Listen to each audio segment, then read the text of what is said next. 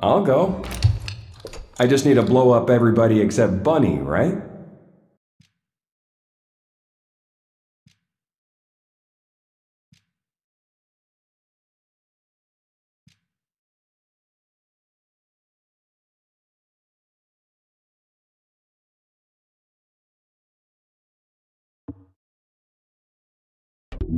Leave it to me.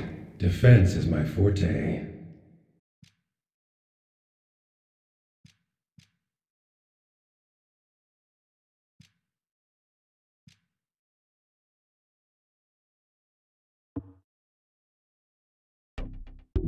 Seems like my kind of job.